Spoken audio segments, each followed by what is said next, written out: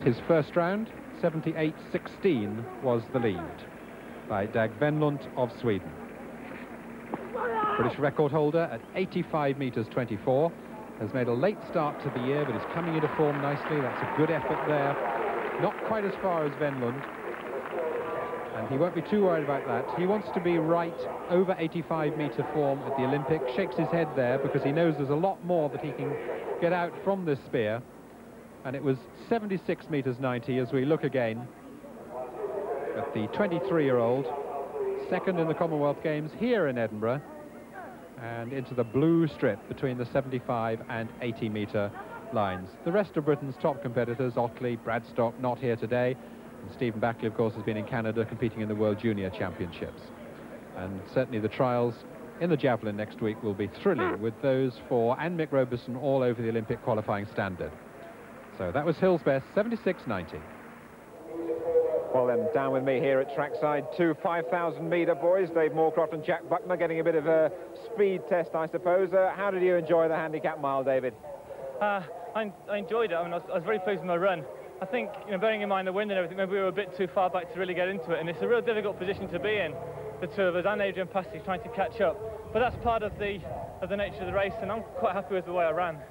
Off scratch, Jack didn't make things easy for you, did it? Ah, it's all right. You've got to have a stab at these things, though, Jim. Um, I enjoyed it. It was a good hard blowout, and I haven't had many of those in recent weeks. And uh, it's good to be racing Dave again on the track. A little while since you, you, two have met, isn't it? Yeah, we haven't raced each other that often as the last, mainly because I've been injured and he's been running really well. Um, but it, yeah, it's, it's nice to, to, to, have a go together. This is obviously the light-hearted stuff before one or two more serious races to come, and I have to ask you both individually, what are the, the prospects for the Olympic Games? You first of all, David. I think it might be easy for me to answer this in a question. I, I think Jack should be selected. And I think next week, the rest, those who run the 5,000 should be running for two places. Um, Jack's had his problems. I'm not, no, I'm not saying this because he's here.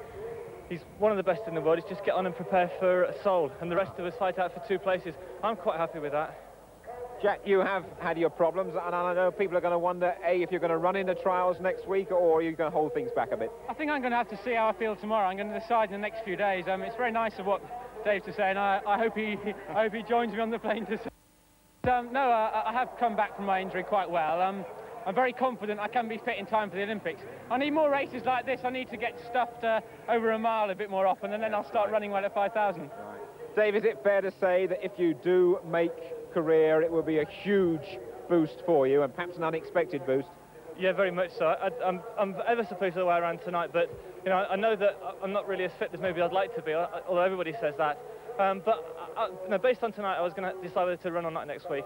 I think I'll obviously have to run now and give it a go. And if I can get one of the first two places, that would be great. The only thing I fear is coming third, because then it'll be that horrible you know, selector's decision. But I just like to make my position you know, absolutely clear that I think that, that you know, Jack should be in there and let him get on with it. OK. David Moorcrofter and Jack Buckner, you're both shivering up here, aren't you? Go off and get the tracksuits on. Thanks very much for joining us. And uh, now I think for something completely different here at Meadowbank.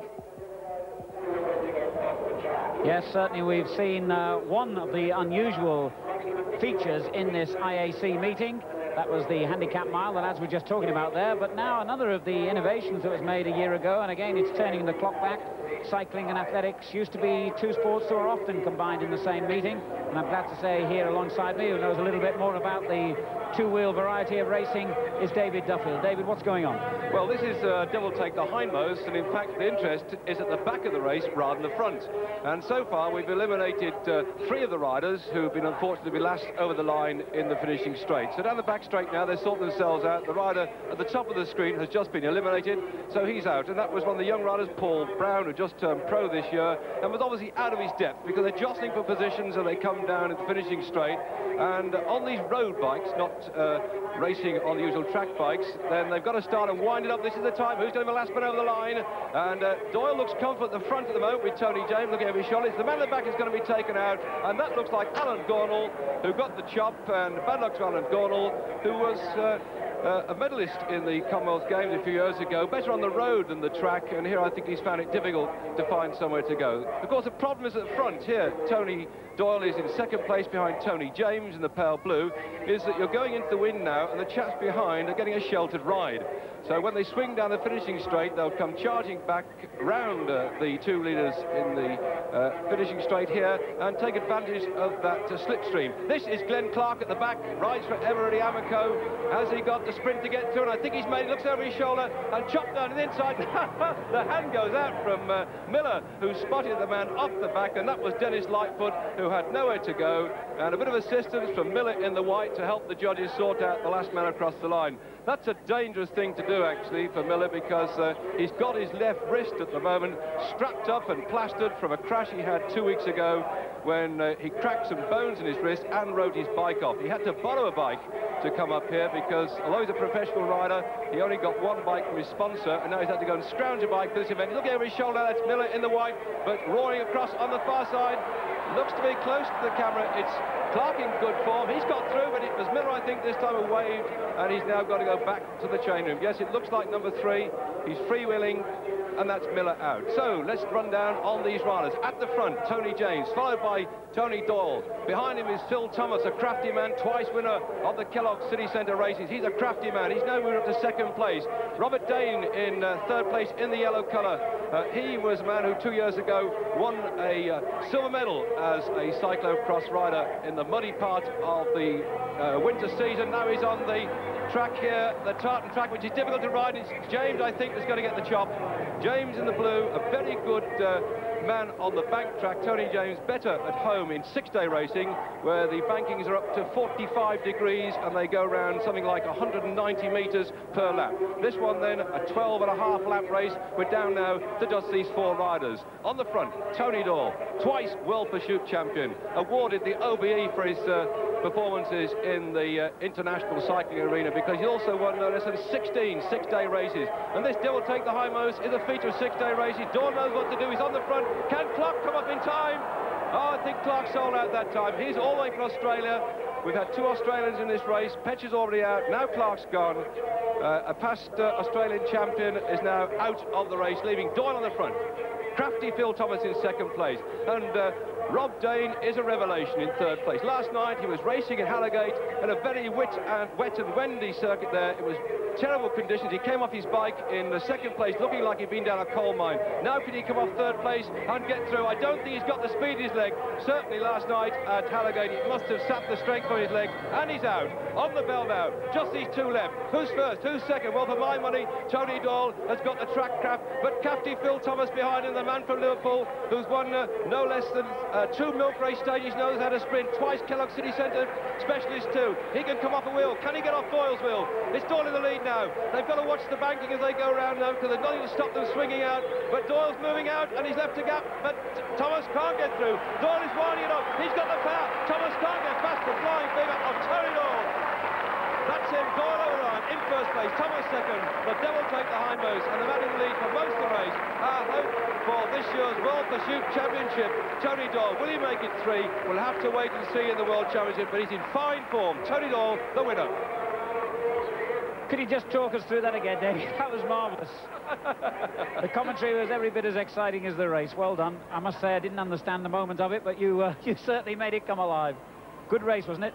It was, in fact, and Tony Doyle, I didn't think he was uh, have enough strength left uh, at the end of that race because he'd led for so far, they'd all be on his wheel, but he's in very, very fine form at the moment, and I think we must look forward to this man winning the World Championship, uh, the pursuit, in just about, uh, what, six weeks' time.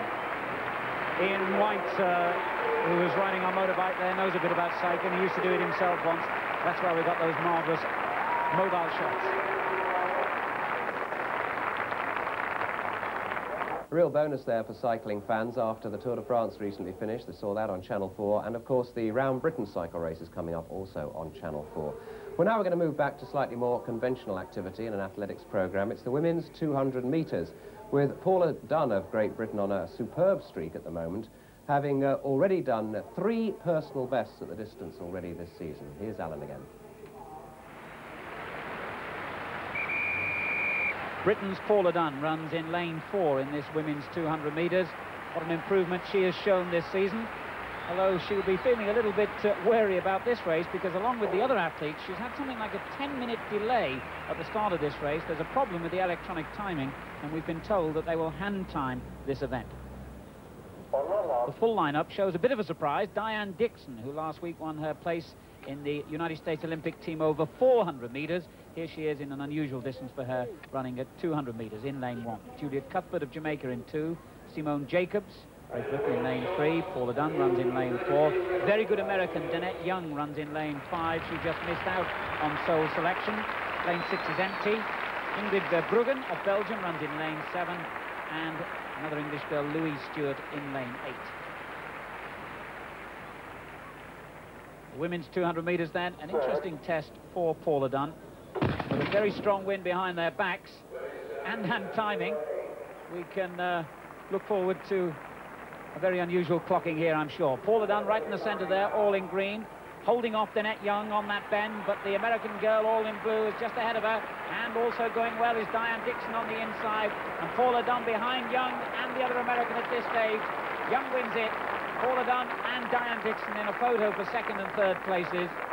But Danette Young, who took the bronze medal in the World Student Games last year, but who uh, became like so many of these fine American athletes, a victim of their harsh one, two, three, goes the soul system with a fine win there. Peter. The runners had to run into the wind, of course, around this first bend, but then it was strongly behind them as they came into the home straight. Paul Dunn's had a lot of races this year, but Danette Young is really a top-class, world-class sprinter, and it just shows the quality of the American uh, depth in sprinting. Because look here now as she begins to work her way ahead of Dunn, who probably ends up something like seven metres behind her. Diane Dixon, also a quality 200-metre runner, as well as a 400-metre runner. She's got the strength. But Danette Young, not in the American team for the Olympics, but certainly of the calibre of an Olympic finalist, comes through to win this race. Then Dixon and Paula Dunn. I climbed uh, time, the winning time, 22.6. Dunn there probably just outside 23. In fact, an even better 22.5 for Dunn, for Young rather, and Dunn did really very well to get up to second equal in 23.1. Now back live, it's the men's 200 metres that we look forward to next, and a really star-studded lineup here. One of Britain's best, John Regis, will run in lane three here, and there he is, John Regis, the United Kingdom record last year, 20.18. That marvellous bronze medal in the World Championships and a victory in Verona just a couple of days ago in 20.76 to his credit. John Regis, who is a perfectionist at timing his season to peak at exactly the right time, as he showed us in Rome with those World Championships last year. Calvin Smith, one of the Americans up against him here, running in lane five. Used to hold the world record for 100 metres and has twice in 1983 and then again in 1987 lifted the gold medal over 200 metres in the World Championship.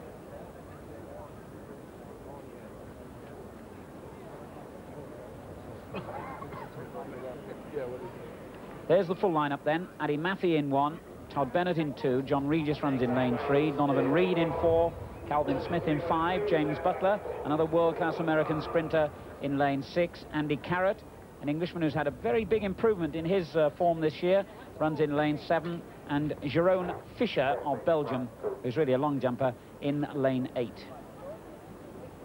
I think there's going to be a bit of a delay before the start of this race, incidentally. They seem to have had a lot of technical problems tonight, and I gather there's a fault with the blocks now. The blocks obviously electronically connected to uh, the starter. And... Uh, so, Alan, that gives us a chance, in fact, to, while they're waiting for that to be sorted out, to have a look at the high jump, where we've had Dalton Grant, who recently improved the British record to 2 metres 29. He was in action. Third attempt, 2 metres 27, a height which has already been cleared by two Americans, Jim Howard and Hollis Conway. And a fine clearance indeed, and Dalton, uh, Frank, maintaining very fine form here indeed. Uh, Dalton Grant, or Skeletor as he's known to his friends, very powerful in the weights room, very strong, fast free thigh, wriggles over the bar, a good clearance. Uh, he's sort of the new generation high jumper from Great Britain's point of view, bags of strength training, and no longer the sort of situation where we've got high jumpers looking like a pipe cleaner on a high fiber diet. And in fact, uh, that was his ultimate clearance in the competition, 2 meters 27. No one else jumped higher. And as the Americans uh, had cleared 227 on their first attempt, it was Jim Howard first, Hollis Conway second, Dalton Grant third, all 227. But again, good jumping there by the English athlete.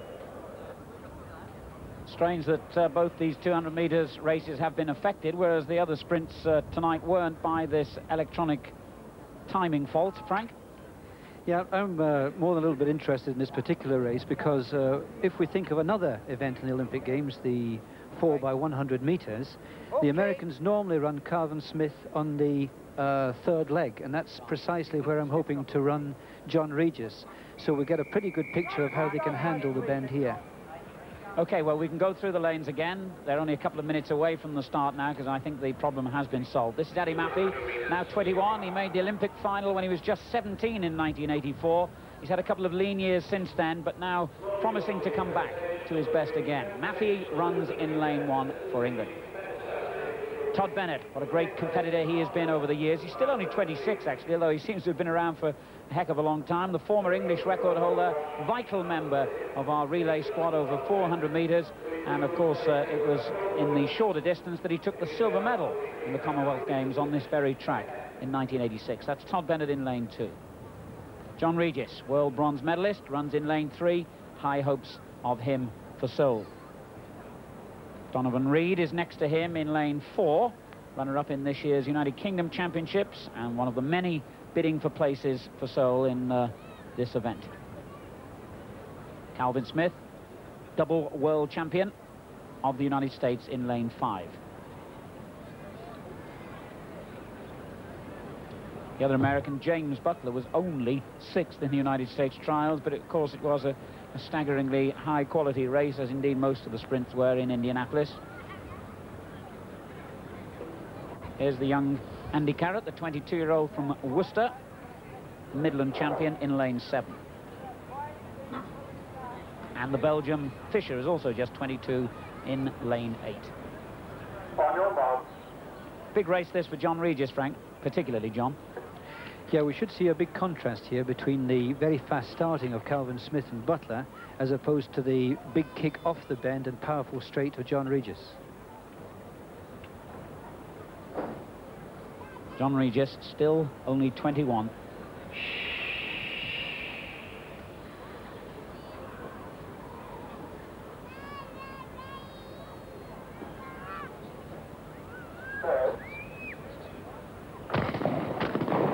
Start made by Donovan Reid, I think, in lane four.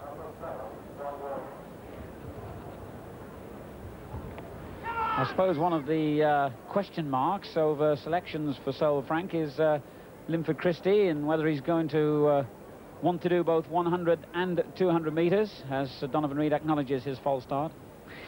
Yeah, I think uh, should uh, Linford decide to go for both, I think he'll give a, an, an, extraordinary performance in both. He's certainly worth both finals, uh, and I think if we've got John uh, and Linford in the 200 metres, we'll see two Britons there. To remind you that the selection policy this year is that the first two in the trials, that's joint trials for men and women, being held in Birmingham next weekend, and you can see them only on ITV, the first two in each event will automatically be selected for Seoul. The team is named the very next day, that's Monday morning, of next week and uh, the selectors at their discretion will pick the third athlete in each event. What an event that's going to be. John Regis, no matter how many medals you've got and what your status is in the sport, will be amongst those having a very nervous few days between now and Birmingham next weekend. Calvin Smith's had his uh, anxiety. Only fifth, incidentally, over 200 metres in the uh, United States trials, but made it in the 100 metres.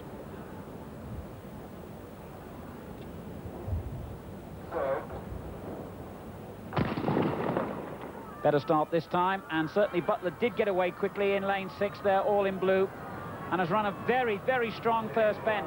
John Regis, all in the, the multicoloured kit, running very well too in lane three. Butler still leading. Regis coming back at him. In between those two is Calvin Smith as well. The two Americans dominate, but Regis gets third place.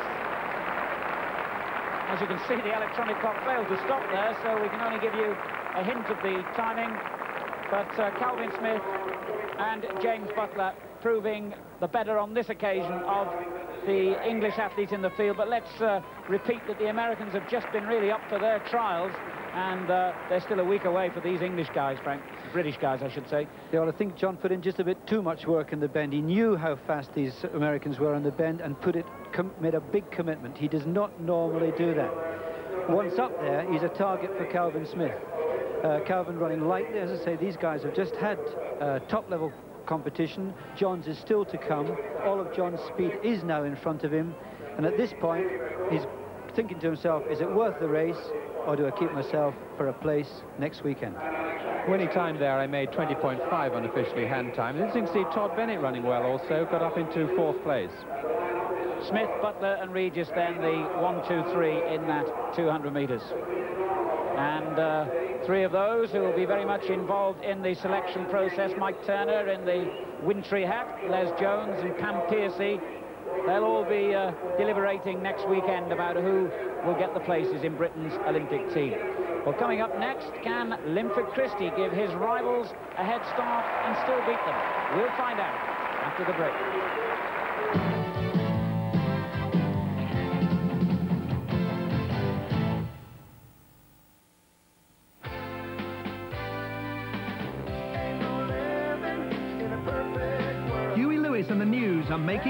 Headlines at our price.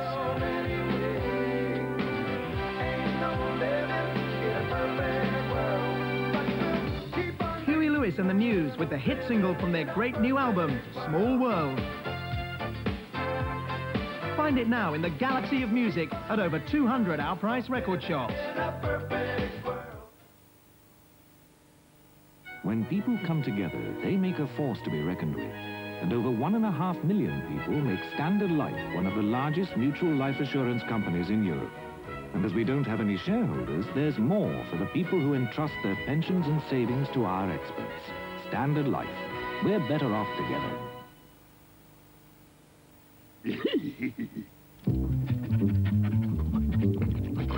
boy, oh boy, that looks just like a quaver.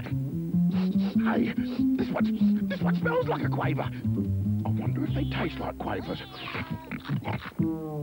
They are quavers. mm.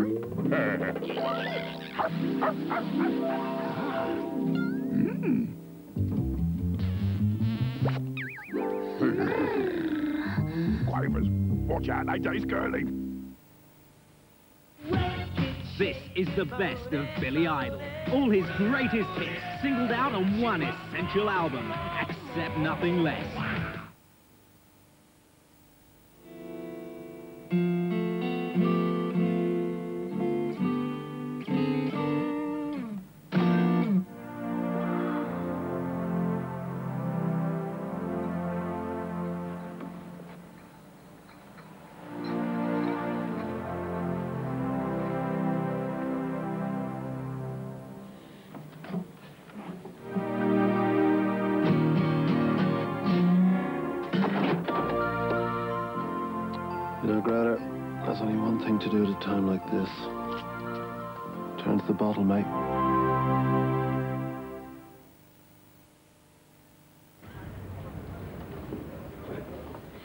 Tickets for the Orient Express, please.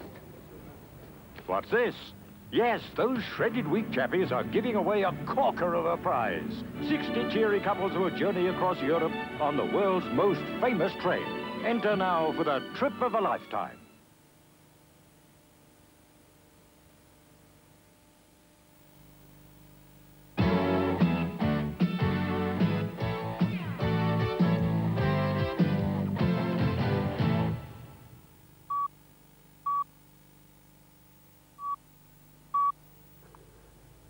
No cricket, no rugby, no squash, no fishing, no snooker, no darts, no women wrestling in mud. So what have they got? 23 different sports. 23? Like what? Archery, volleyball, canoeing. Volleyball? Canoeing? And tennis. For the first time since 1924. Ah, they want the real spirit of the Olympics, eh? Of course they do. So they send for John McEnroe. They got table tennis for the first time. Ping pong? Churchill stuff. What is this? It's the Olympics on four. Watch it.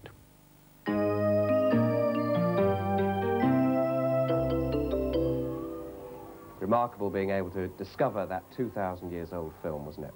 Well, there is indeed comprehensive coverage of the Olympics on Channel 4 and indeed on ITV. And the Olympic trials you can see starting a week tonight on ITV. Right, it's back to Meadowbank this evening now. The 3,000 metres, including Liz McColgan, is already underway. So let's rejoin our commentators, Peter Matthews, Frank Dick and Alan Parry. Four and a half laps to go in this 3,000 metres and a very familiar leader there, Liz McColgan, on the scene of her Commonwealth gold medal triumph two years ago on this track, since which time she really has got better and better. Running in second place is Sabrina Dornhoefer of the United States, wearing number two who uh, just a little over a week ago was taking part in a rather more important race in vastly different conditions. She was in the 1500 meters and the 3000 meters in the American Olympic trials. And the temperature in the 3000 was measured on the track at 122 degrees. And Dornhoefer, their number two, collapsed and fell in the heat but uh, it's a good deal colder on this Edinburgh evening. She'll be relieved. McColgan leads then. Dornhoefer second. Stănescu of Romania is in third place in the yellow vest. But uh, Liz McColgan obviously attracting most of the interest. And Frank, she has been showing the kind of form this year that really suggests that the remark made by her coach John Anderson that one day she'll be the greatest woman athlete in the world is one not to be taken lightly. No, I'd agree with that. Uh, she's presently heading the world rankings in the 10,000 metres. Uh, and uh, when you consider the quality of women's 10,000 metres at the moment, that's quite an achievement. Bit of a hard job tonight. Strong wind up the back straight, and she's keeping, she's certainly sheltering the, the athletes behind her. Her purpose in doing this sort of work, this, uh, this late in the season, is really time trial type stuff, looking at the speed over a slightly shorter distance. Uh, but tonight, I guess she would have hoped for calmer conditions to post a fast time. Now she's looking really at a result. Three laps to go. McColgan leads. Dornhoefer second. Stănescu in third. Mary Donoghue, the Irish athlete, is fourth, all in black. And just behind her, also all in black, is the 26-year-old English girl, Nicola Morris, wearing number six. McColgan, the 24-year-old from Dundee, married to Peter McColgan, the international steeplechaser.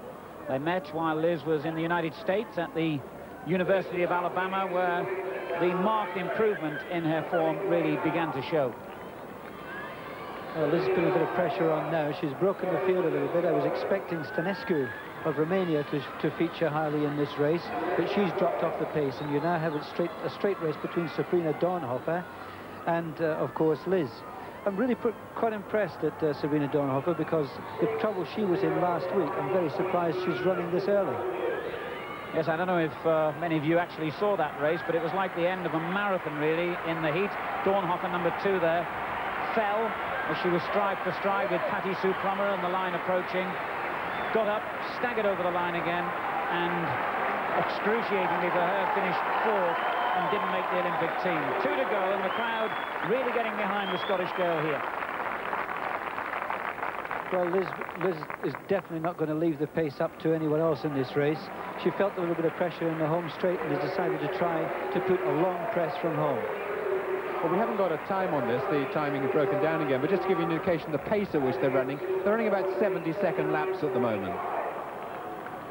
And look at them really straining into the teeth of that wind there. The wind has not dropped at all. In fact, if anything, I guess it's got stronger down that back straight. The flags on the top of the stadium blowing very, very hard, and they're running right into the wind now. McColgan and Dornhoefer in their own race, really, and the rest some 30 metres or more back, chasing third place. And Liz is really making her work now. That was hard work up the back straight, but I don't think Dornhoefer wants to be shaken off here. We're going to have quite a fast last lap. But it looks to me now as though Liz is beginning to pick up the pace again with the wind at the back. It's beginning to open the gap that she needs. And if she needs home support, she's got it in abundance.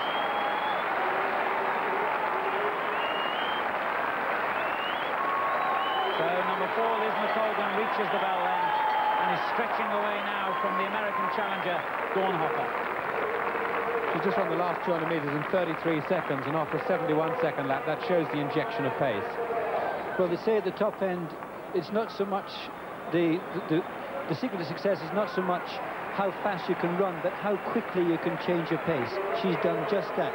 And this is a very powerful finish, the sort of finish that will frighten her top opposition from all around the world.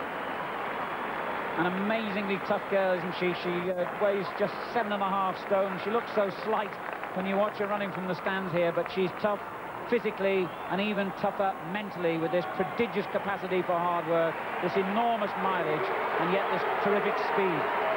32.8 even into the wind for that last 200 metres.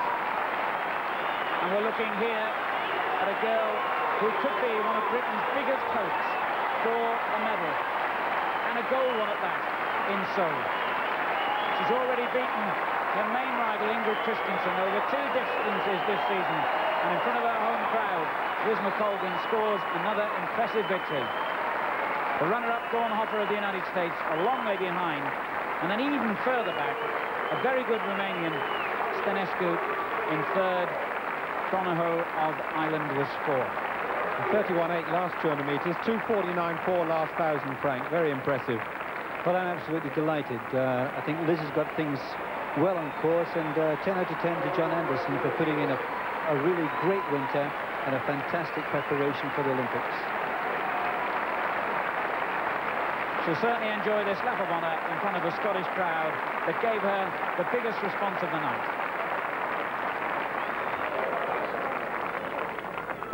Very impressive piece of running that uh, by Liz McColgan. Goodness me, she looked strong as she went past me for that final lap. Well, a good crowd here uh, in Edinburgh. It's getting distinctly chilly, but nobody is leaving the stadium because of the appearance of Harry Butch Reynolds. He's going to be coming up in the men's 400 metres. And now it's a chance for us to enjoy the 400 metres once again from the American Olympic trials last weekend. An absolutely astonishing standard, really. Eight men below 45 seconds in the final. Another five broke that 45-second mark and weren't good enough to make the final at all. Of course, Reynolds starting as the favourite, but watch out for Steve Lewis, a 19-year-old who's broken four world junior records in 1988. They're stride for stride in the home straight, and Danny Everett in lane four, all in blue. Also going well, in fact, Everett just in front. Reynolds coming back at him. What a race it's been. And Reynolds wins it. Everett second. Lewis third, and the time an incredible 43.95. The first ever sub 44 second at sea level. The official time later reduced, of course, to 43.93. The fastest race in history at sea level. And surely Butch Reynolds on the verge of breaking the world record that has stood for 20 years. He has now the two fastest clockings ever without the benefit of altitude. Only Lee Evans in Mexico City, winning the Olympic gold 20 years ago, has ever run faster. And Danny Everett, incidentally, in the same race, also forced himself into the world all-time top four. Crowd in the background still uh, applauding Liz McColgan for her earlier victory in the 3,000 metres. And Liz will be an interested spectator now for this world-class 400 metres.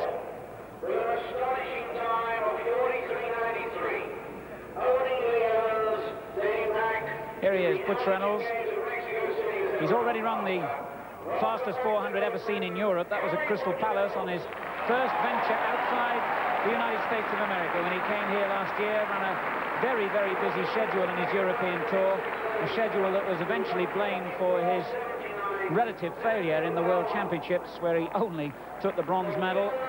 He was also uh, suffering from a stomach bug that week. 24 years from Ohio, went to the Ohio State University, the same university that the great Jesse Owens attended, and he used to walk past his statue every day and gain inspiration from it. And Ed Moses, another of the all-time great American athletes, has been another big influence in his career. Now, in the same race here, as if it isn't bad enough having to run against Butch Reynolds, the athletes will be seeing double because this is Jeff Reynolds, the younger brother of Butch, and uh, he, would you believe, in the American trials, failed to make the semi-finals, even though he ran 44.98. And that, I think, uh, if anything, just underlines the astonishing standard of one that running in America. We'd hope to have uh, Innocent Egbunike and uh, Derek Redmond in this race as well, but both of them have had to pull out because of injuries. But nonetheless, a good British representation here. Paul Harmsworth, bronze medalist in the European Indoor Championships a year ago. He runs in lane one. That's Clarence Daniel, the American, seventh in the trials and second in the earlier in the season American Championships. He's in lane two. And we've already heard how the Scots get behind their own athletes, and they surely will now for Brian Whittle, the United Kingdom champion, having the best start to a season he's ever had, the 24-year-old Scottish athlete, silver medalist in this year's European Indoor Championships. Jeff Reynolds runs in lane four, younger brother of Butch. They were both great basketball players at college as well, by the way, and could have taken that uh, sport up in a big way. Butch Reynolds runs in lane five. In lane six is Andrew Valmon, who also made the American uh, trials final and finished in sixth place.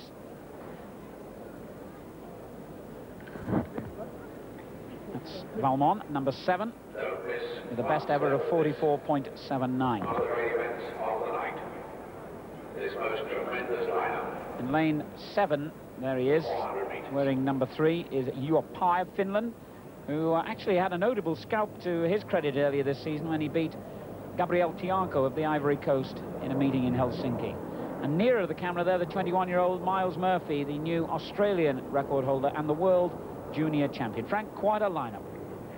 It certainly is. Tough job for, for the British boys. Uh, if we go think back to Miles Murphy there, he's one of a quartet of uh, top Australians who our British boys are well aware are serious challengers uh, for medals in Seoul. Although the pictures look beautifully clear and crisp on your monitors, hopefully back home, your TV sets, I can tell you it's pretty dark and gloomy and windy here now. More like a winter's evening than a summer's evening in Edinburgh. But Brian Whittle's used to the vagaries of the Scottish weather.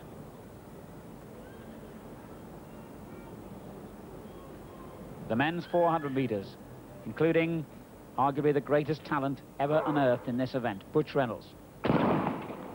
Reynolds in lane five, all in white, and in the trials with uh, that phenomenal Steve Lewis outside him, he ran a blistering first 200 metres.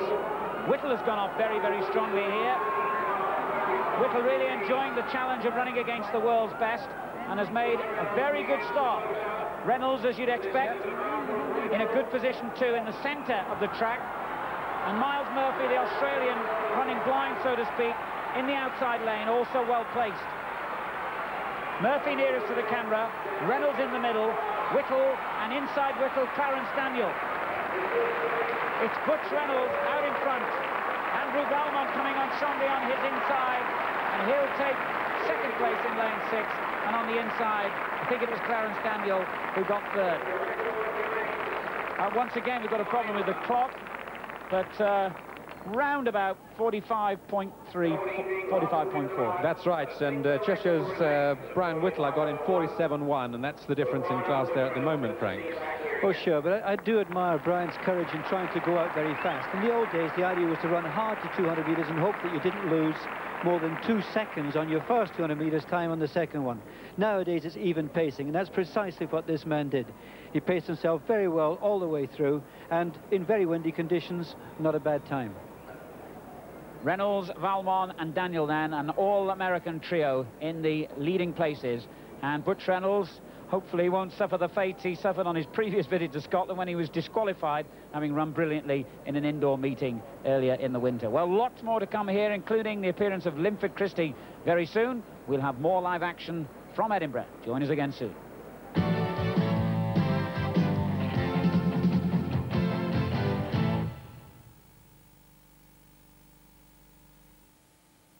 How are you? I'd like a Choices pension plan, please. Ah, yes. Choices. A pension you can keep no matter what you do in your working life. Yeah? pension you can take from job to job. That's it. A pension that stays with you whether you're fully employed, self-employed, or taking time off to have babies. you got it. One that makes no difference if you work in the same firm for 40 years or get bored with it after six months and go off to be a tugboat driver, toothbrush Yeah. salesman, lifesaver, professional Morris dancer, balloonist, Traffic uh, uh, warden. yeah, traffic warden, pastry cook, paleontologist, plumber, lion tamer, and church warden. Not necessarily in that order. You got it. Because whatever you do, a Choices pension will be waiting for you when you retire. That's the one. Left it a bit late, haven't you? Well, it hasn't been available till now, has it? Choices from Guardian Royal Exchange, a pension plan that lets you go on making choices, provided you're in your 20s, 30s, 40s, 50s. What you got today, then? Oh, just a little tomato, crisp lettuce, and cool, creamy Philadelphia spread thick on granary bread. Oh. What you got today, then? Crisp, crunchy celery, lashings of creamy Philadelphia, and a little Lollo Rosso for that continental touch. Nice. What's that, then? Just Philadelphia. Just Philadelphia? It is my birthday. Lovely.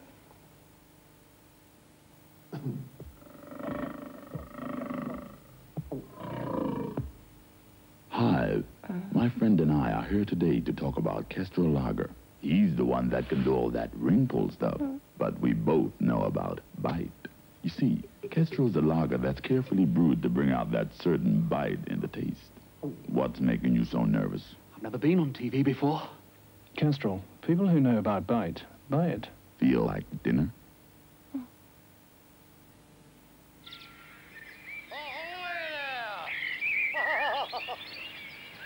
Oh, now the I see.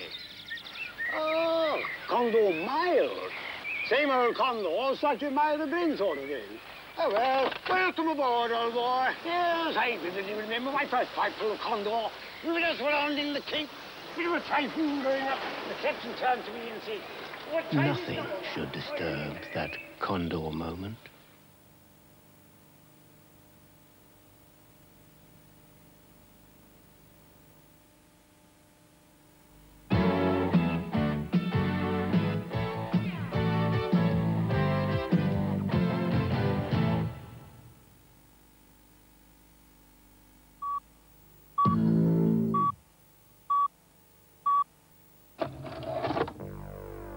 23 sports in the 88 Olympics.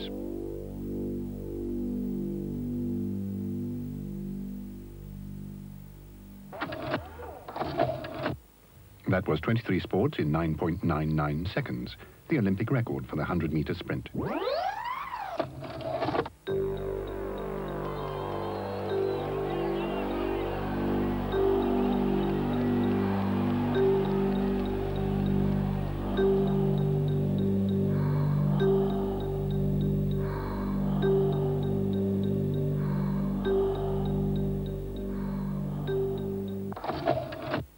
That was 23 sports in 19.80 seconds, the Olympic record for the 200-meter sprint. On Saturday, September the 17th, in real time, the Olympics are under starters' orders. Channel 4. Yes, do not adjust your sets. This is uh, Olympics Channel 4 style, and this is International Athletics on Channel 4 here in Edinburgh. One of the most famous landmarks in this beautiful city, dominating the Meadowbank Stadium, the scene of two Commonwealth Games in 1970 and 1986, and now about to witness a most unusual event indeed, the 110 metres handicap. Linford Christie will be running here off scratch, and if you were watching earlier in the ITV programme, you may have seen his superb performance in the semi-final. He's running against a couple of guys here who used to be professional sprinters up in Scotland, and they have a lead over him, as you can see there, of distances varying from six and a half to eight metres. Now, Linford Christie made light of that uh, handicap in his heat. Let's see what he can do again here in the final. Christie made a good start. Watch for David Clark in main five, the Scotsman. Here comes Christie late again, but this time the handicap proves too great. But even so. It was another brilliant run by Linford Christie because he reduced that gap between himself and Clark, which was seven metres when the gun went, to, well, just a few strides, Frank. A fantastic run. Linford in full flight is, in my opinion, unbeatable this season. We've seen that in his back straight running in the, in the 4 by 100 metres relay. Uh, but in this particular race, the problem was bound to be the experience of David Clark as a former professional who's run many, many times handicap races. Uh, as I said earlier, he had this uh, th this run where he knew all that he had to do to show Linford where his strengths were for the final. Up came the final, and David actually produced another notch to beat him. Nonetheless, it was extraordinary time because I've uh, hand-timed, only admittedly, timed him for Christie, and I got him in around 10-8, 10-8, 10-9. Well, that's sub-10 second running. Okay, they got a win behind him, but that really is very impressive.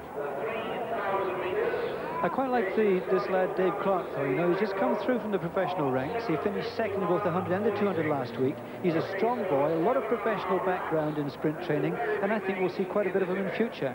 Linford's start was very, very powerful.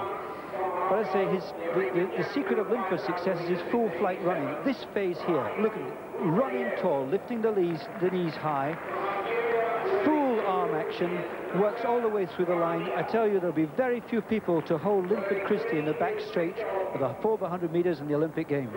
Incidentally, the bloke on his outside there, Dennis Mitchell, was second to Carl Lewis in the Olympic trials, and Linford beat him by a couple of metres. Now then, Linford, you came uh, you came flying through at uh, and at George McNeill, watching at the end uh, end of the straight. Uh, just a bit too much ground there for you, or what? Uh, yeah, I think I think the gap between me and the other guys is a little bit too much. Was there any stage where you thought you might do it? Well, you know, I, I began to pick up nearer to the line, but I thought, you know, when I leaned over the line, I thought maybe second or so, but -huh. it was really tough. George, what about yourself? How much does uh, hanging on to this record still mean to you? To be honest, I never really thought about it until the, the promoters came up with the idea. I'm just pleased that at least it's had some publicity after 17 years. Right. And uh, it was a, a, tremendous run. I don't know the time yet. But... No. Would you fancy just turning the clock back perhaps and going off scratch against this fella? Not really. No, I think he's. I think things have progressed forward, and I think for him to give uh, Dave Clark to try and give him seven metres a start is a tremendous uh -huh. effort. Right. Linford, a fun event here, but uh, serious stuff uh, next weekend. Uh, I'm afraid so, you know. I mean, the status is fun, but to me, I mean, this was serious too, because obviously you try to win. And maybe I could have done a bit of coaching from George beforehand. but, you know, as for next week, I'm going in, I'm going to run both events, you know, because I think I need the races now and see what happens. We'll see you in Birmingham. Linford, George, thanks very much. Thank you. Thank you. Jim Rosenthal there talking to Linford Christie and George McNeill. Right, it is, of course, the Olympic Games coming up in September, but before that we've got the Olympic trials. Absolutely crucial to find out who are going to be in the British team to travel to Seoul. And you can see that only on independent television. The Olympic Stadium in Seoul is the target for every British athlete at the trials next Friday, Saturday and Sunday. It's going to be the most dramatic meeting for many years. You can follow all the best action only here on ITV. Reputations count for nothing. Only the first two past the post are guaranteed a ticket to Korea. The competitors must produce the goods on the day, otherwise years of training could be wasted. It's a new and controversial method of selecting a team, and we can guarantee you an outstanding event. The Olympic Trials live and exclusive on ITV and Channel 4. I'll be there. I hope you will be too. Steve says it, surely that's good enough for you. Right, let's catch up with some of the results of this evening here at Meadowbank in the IAC Miller Lite International. Here's Peter Matthews. Well, one of the outstanding results was Sally Gunnell's 12.80, better than the British record, although wind assisted at 3.3, beating two good Americans, Talbot and Page. And the men's 110-metre hurdles, Colin Jackson, a wind-assisted 13.21. The fastest time ever for Tony Jarrett, 13.35. And great to see Jon Ridgeon back in good form, third, 13.45, ahead of the good Americans. The men's 1,000 metres, Said Aouita, 2.18.32, and David Sharpe out kicking Tom McKean.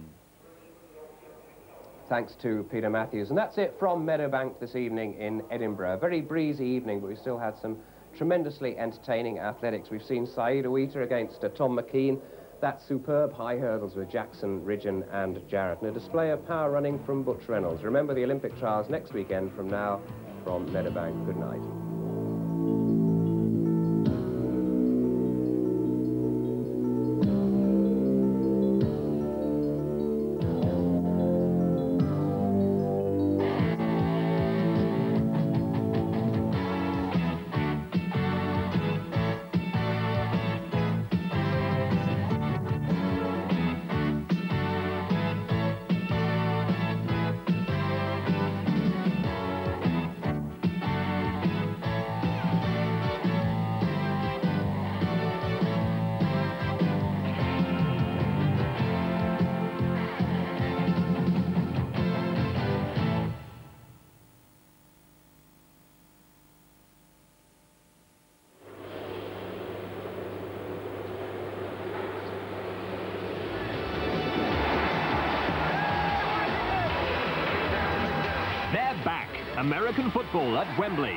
Miami Dolphins and the San Francisco 49ers fight it out for the American Bowl. Sunday at 10.15 on Channel 4. Touchdown.